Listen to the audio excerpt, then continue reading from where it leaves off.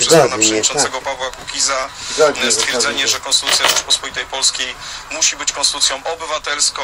Dość krytyczna ocena, jeżeli chodzi o obowiązujące rozwiązania konstytucyjne ze strony przedstawicieli ruchu Kukiz 15, e, prezydium e, klubu parlamentarnego, wskazujące na dysfunkcjonalności konstytucji, wskazujące na jej niedostatki. Paweł Mucha powiedział, że uczestnicy spotkania zgodzili się, że referendum powinno się odbyć 11 listopada przyszłego roku. Przedstawiciele ruchu Kukiz 15 zaproponowali, aby trwało ono dwa dni. Pierwsze merytoryczne posiedzenie ma za sobą Komisja Weryfikacyjna do spraw warszawskich reprywatyzacji. Ustalono, że w pierwszej kolejności rozpatrywane będą sprawy dziewięciu stołecznych nieruchomości. Będzie osiem postępowań rozpoznawczych i jedno sprawdzające.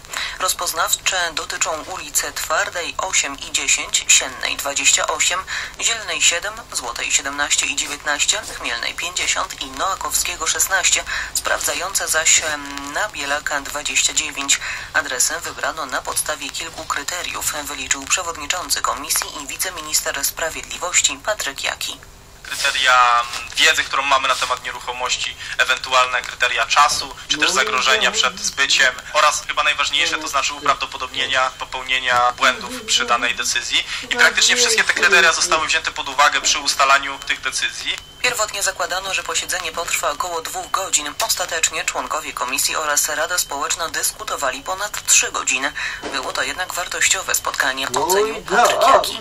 Wynika z tego, że w mojej ocenie wszyscy członkowie komisji podeszli bardzo poważnie do swojej pracy, zadawali bardzo wiele pytań i w mojej ocenie dzięki temu te decyzje są pełniejsze. Ale co ciekawe, decyzje praktycznie we No wszystkich no, tych sprawach zostały no podjęte jednogłośnie. Nie Dlatego na razie widać dobry duch współpracy w wyjaśnianiu tych skandalicznych reprywatyzacji, które miały miejsce w Warszawie i mam nadzieję, że tak będzie dalej. Pierwsze trzy rozprawy komisji zaplanowano w dniach 28-30 czerwca. Państwa Grupy Wyszehradzkiej jednomyślne w sprawie uchodźców. W trakcie narady szefów spraw wewnętrznych grupy V4 w Warszawie omówiono problem relokacji imigrantów. Ministrowie spraw wewnętrznych Polski, Czech, Słowacji i Węgier oświadczyli, że unijna polityka dotycząca uchodźców jest błędna. Szefowie resortów spraw wewnętrznych grupy V4 nie mają wątpliwości. To, co w kwestii uchodźców i relokacji ustaliła dwa lata temu Unia, jest nieskuteczne. Widać po tym, jak jest wypełniana decyzja z końca 2015 roku o relokacji, czyli o rozdziale 160 tysięcy uchodźców do innych państw Unii Europejskiej, do innych niż te, do których ci ludzie chcieli przybyć. Mówi szef MSWiA Marysz Błaszczak. Minister, podobnie jak jego odpowiednicy z Czech, Węgier i Słowacji, nie obawia się też procedury prawnej, którą pojutrze wobec państw grupy zamierza tak. uruchomić Komisja Europejska. Zdaniem szefa słowackiego resortu spraw wewnętrznych Roberta Kaliniaka takie działania pokażą, że wspólnota to Tak. skostniała instytucja. Europska komisja takimto sposobem strali do kolana. Komisja Europejska takim działaniem strzela sobie sama gola. Chce nas ukarać za głos w sprawie uchodźców, który potwierdza prawdę. Według ustaleń sprzed dwóch lat do Polski w ramach relokacji powinno trafić około jakieś, 6 no teraz tysięcy uchodźców. Agnieszka no, Drążkiewicz, Polskie jakieś Radio. tajemnicze Węgry i słowo. Było, było. Nasz kraj w ramach relokacji nie przyjęły żadnego uchodźcy. W Czechach schronili O, Eden, Eden. 12 osób. Było, było. Niemcy od Dobra, dzisiaj okej. przywracają kontrolę na Kierownicy granicach, stają, także z Polską. To zaostrzyło Albo nie środki zamkną tajne bezpieczeństwa drzwi. Dobra. przed szczytem krajów G20, który odbędzie się w Hamburgu Jeden, 7 i 8 lipca. Rzeczniczka prasowa Federalnego MSW Poczekaj, powiedziała było, Polskiemu było Radiu, że było, kontrole będą obowiązywać do 11 lipca. Minister spraw wewnętrznych Tomasz de Maizière odrzuca sugestie, że zaostrzone środki bezpieczeństwa negatywnie wpłyną na ruch graniczny. Bezpieczeństwo szczytu G20 jest na pierwszym miejscu, powiedział agencji DPA. W szczycie G20 w Hamburgu udział wezmą m.in. prezydenci Rosji i Stanów Zjednoczonych Władimir Putin oraz Donald Trump. Organizatorzy obawiają się masowych protestów. W tym czasie do Hamburga ma zjechać ponad 100 Aj. tysięcy antyglobalistów, anarchistów i członków grup lewicowych. Waldemar Maszewski, Polskie Radio, Berlin. Czas na prognozę pogody. Do końca dnia na ogół pochmurno i deszczowo. Możliwe też burze, lokalnie z gradem. Bez opadów i burz, tylko na krańcach południowo-wschodnich. Temperatura dzisiaj od 17 stopni na północy do 28 na południu, a jutro ciąg dalszy zachmurzeń. Na południu bez opadów. Na pozostałym obszarze Polski przelotny deszcz. Temperatura jutro od 15 stopni na północnym wschodzie do 19 w centrum i do 21 stopni na południowym zachodzie.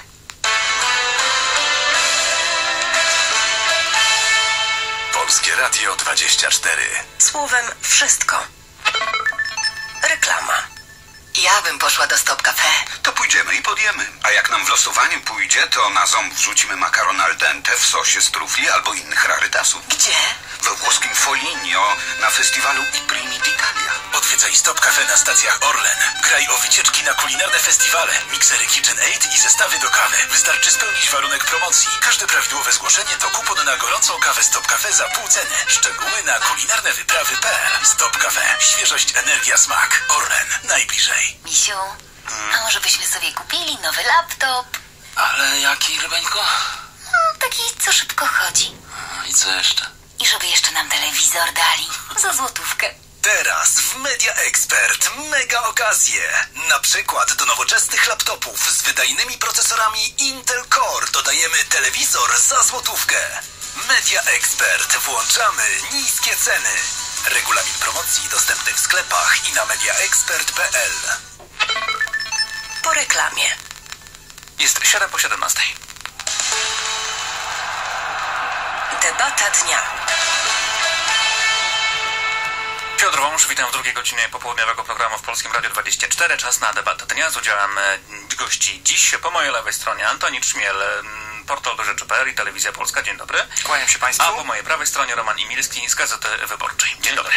Na początek posłuchajmy wypowiedzi po spotkaniu w Pałacu Prezydenckim. Spotkali się prezydent Andrzej Duda i szef em, Kukiz 15 Paweł Kukiz razem z kierownictwem klubu parlamentarnego. E, Paweł Kukiz em, oświadczył, że prawie udało mu się przekonać prezydenta do, do, do swoich postulatów, między innymi do tego, żeby przy referendum konstytucyjnym współpracować z bardzo wieloma organizacjami e, z ruchami obywatelskimi stojącymi po prawej i po lewej stronie, tak jak to miało miejsce kiedyś. E, Mówił też, e, że mm, w ramach tych konsultacji, z szerokich konsultacji mają powstać pytania referendalne. To nie będą pytania pana Dudy wyciągnięte gdzieś tam z szuflady, czy pana prezesa Kaczyńskiego, czy Kukiza, czy jakiej któregokolwiek z ugrupowań parlamentarnych, ale po prostu pytania, które powstaną po szerokich konsultacjach społecznych. I tuż po tym wystąpieniu wystąpił e, minister prezydenta e, pan Paweł Mucha i powiedział, że rzeczywiście te wszystkie propozycje są e, brane pod uwagę. Tutaj zgodnie wypowiedziane przez prezydenta Rzeczypospolitej Polskiej, a dzisiaj przez pana przewodniczącego Pawła Kukiza e, stwierdzenie, że Konstytucja Rzeczypospolitej Polskiej musi być konstytucją obywatelską. Dość krytyczna ocena, jeżeli chodzi o obowiązujące rozwiązania konstytucyjne ze strony przedstawicieli ruchu Kukiz 15, e, prezydium e, klubu parlamentarnego, wskazujące na dysfunkcjonalności konstytucji, wskazujące na jej niedostatki. No i pytanie teraz e, moje jest takie, czy uda się stworzyć ten e, wspólny, taki jeden e, front, jeśli chodzi o zmianę konstytucji, kiedy organizacje na przykład prawicowe będą współpracowały z lewicowymi. Czy to jest w ogóle w obecnej sytuacji polityczno-społecznej możliwe? Może na początek Roman Imielski, Gazeta Wyborcza. No, będzie to bardzo trudne na pewno, bo polaryzacja między różnymi środowiskami jest bardzo głęboka. Eee, ja wolałbym jednak, żeby pan prezydent proponujący konstytucyjne referendum jednak wyszedł z jakimiś zawężonymi chociaż tematami, prawda, wokół których mamy się, mamy się obracać, bo na razie to są bardzo mocne ogólniki, że ma być obywatelską konstytucją, że ta poprzednia no, wymaga jakichś zmian. No, troszkę dowiedzieliśmy się, że w jakim kierunku miałoby to prowadzić, kiedy mm, pan prezydent powiedział, że no, trochę mm, rola prezydenta w tym systemie jest zbyt e, słaba. E, więc raczej chyba chciałby iść w kierunku e, e, ustroju prezydenckiego, wzmacniającego głowę państwa kosztem urzędu premiera i rządu. No, mm, y, Druga też sprawa która związana z referendum konstytucyjnym jest taka, że, jest to, że musimy jednak jasno mówić e, mm, e, wszystkim, że jest to e, mm, referendum, e, które nie ma mocy sprawczej. Ono jest tylko referendum e, polegającym na pewnej konsultacji z, z, z osobami, które e, pójdą zagłosować. I teraz szykuje się chyba pospolite ruszenie w poszczególnych regionach, ponieważ Kukiz 15 zapowiada tutaj współpracę z ośrodkiem prezydenckim, po to, żeby rzeczywiście rozruszyć i zmobilizować społeczności lokalne, ale także ruchy obywatelskie. Czy będzie to możliwe? Antoni Czmiel. Pan redaktor Wąż był uprzejmy zapytać, czy możliwy jest front jedności w sprawie konstytucji. Ja bym powiedział, że to mm, nawet jeżeli jest możliwy, to byłby zły. Zły dla polskiej demokracji, bo istotą demokracji jest e, spór prowadzone w sposób rzetelny, w sposób na argumenty, a nie wyłącznie na mówienie, że wy jesteście brzydcy. Nie można naraz e, być e, kobietą i mężczyzną, nie można naraz e, zjeść ciastka i mieć ciastka. Trzeba coś wybrać. Problemem obecnego rozwiązania ustrojowego w Polsce jest to, że my tak próbujemy wszystko po trochu, czyli próbujemy wziąć coś z drugiej Rzeczpospolitej, a tak naprawdę zapewniliśmy ciągłość, co mówił nawet Paweł Kukiz przed chwilą, który jeszcze niedawno jadał drugie śniadanie z Donaldem Tuskiem z PRL-u powtarzaliśmy to, przedłużaliśmy działania prawne. Proszę zwrócić uwagę, że sama regulacja, o której pan redaktor był uprzejmy wspomnieć, stworzenie urzędu prezydenta to jest doklejenie właśnie instytucji, która istniała w sytuacji konstytucji marcowej, kwietniowej, czyli przedwojennej, do PRL-owskiej otoczki. Pierwszym prezydentem III Rzeczpospolitej był nie kto inny, tylko Wojciech Jaruzelski. I dla niego zaprojektowano rozwiązania ustrojowe głównie kolejni prezydenci mają możliwość blokować rozwiązania, które są proponowane przez e, de, e, demokrację.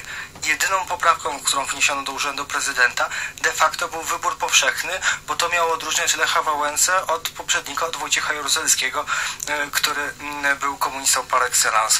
Potem tą konstytucję, którą tak przeciągnął e, Aleksander Kwaśniewski i ko- kolejni jego kompanii Sojuszu Lewicy Demokratycznej, dostosowywali do bieżącej sytuacji. Ona została przyjęta bardzo marną e, większością głosów, bez jakiejkolwiek debaty. Więc my nadrabiamy w tej chwili, jak odczytuję tą trudną dla samej głowy państwa i dla nas wszystkich propozycję, nie- niełatwą e, rozmowę o konstytucji, żeby ustalić, w którą stronę chcemy iść, żeby nie powtórzyły się takie sytuacje jak e, świętej pamięci prezydenta Lecha Kaczyńskiego i Donalda Tuska, kiedy to kancelarii kierowana przez e, Pawła e, Grasia i Tomasza Arabskiego nie chciały dać samolotu prezydentowi na szczyt Unii Europejskiej, że trwały spory gorszące Polaków o to, kto ma siedzieć na tym krześle.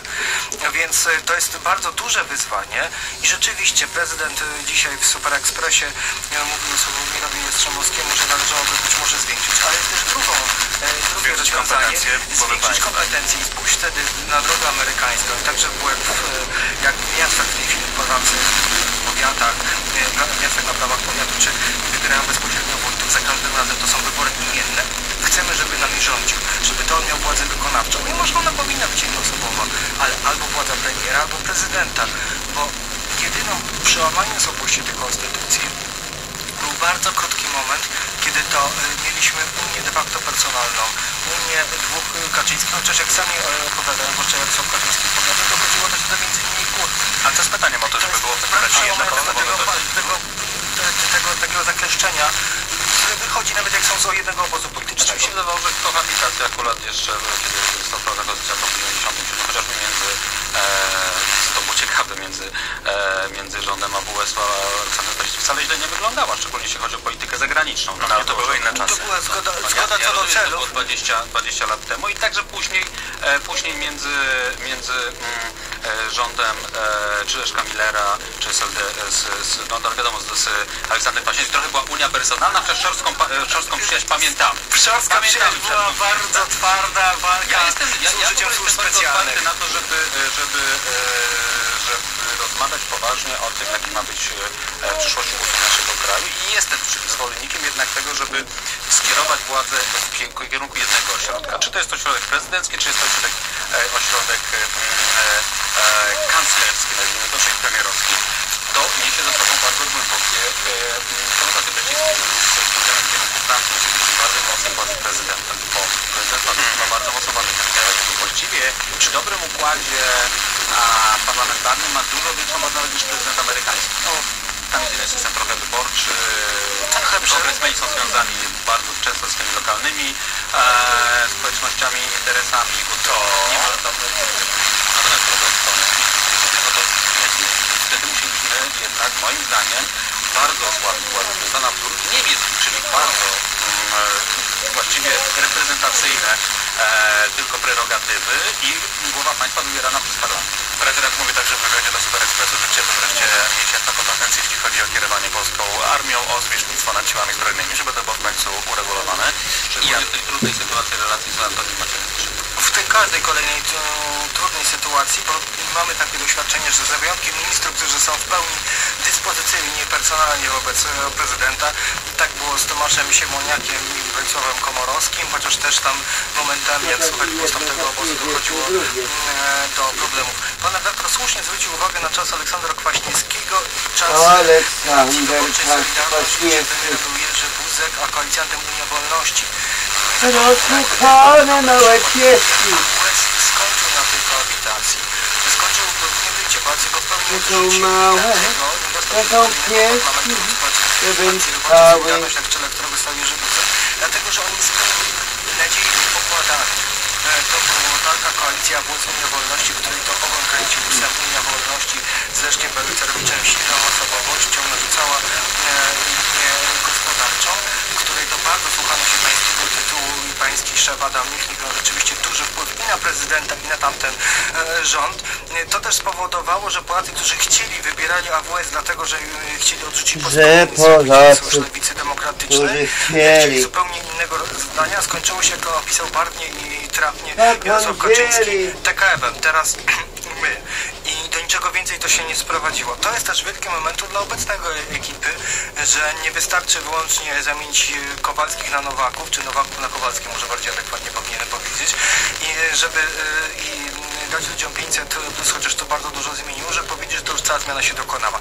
Trzeba większej, głębszej przebudowy i o tym, jak e, myślę, mówi mm, Andrzej Duda, który też już te napięcia między swoim otoczeniem, między swoim zapleczem parlamentarnym e, mm, wyczuwa i to musi doprowadzić do jakiejś zmiany. Czy się to prezydentowi uda? Pewnie naturalnym bardziej kierunkiem byłoby urząd kanclerski, czyli że Andrzej Duda mógłby powiedział, tak na następną kadencję e, wybierze to zgromadzenie parlamentarne. Ciekawe też, e, Polacy a nie- pójdą do urny referendalnej i będą To głosowali. będzie moim zdaniem plebiscyt y, dotyczący prezydentury Andrzeja Dudy i to będzie bardzo trudne moim zdaniem egzamin dla, dla głowy państwa, ponieważ no, przy e, tym e, e, no, żyrowaniu wielu rzeczy, które e, dużej części Polaków się nie podobają, związane z, z sądami, e, z Trybunałem Konstytucyjnym, etc., może to być duża porażka, również wizerunkowa prezydenta, która może zaważyć na jego losie być może w roku 2020. No, prezydent zdaje sobie mały- sprawę z tego, że dużo ryzykuje. AWS, AWS rozwaliły wewnętrzne, wewnętrzne konflikty. Pamiętajmy, że jednak był to zlepek bardzo różnych środowisk, abstrahując od Unii Wolności,